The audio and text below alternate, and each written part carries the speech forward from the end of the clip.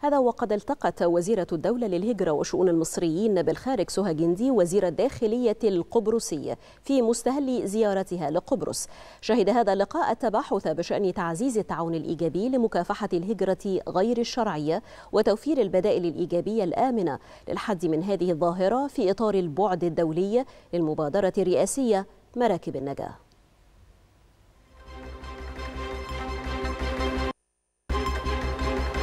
Thank you.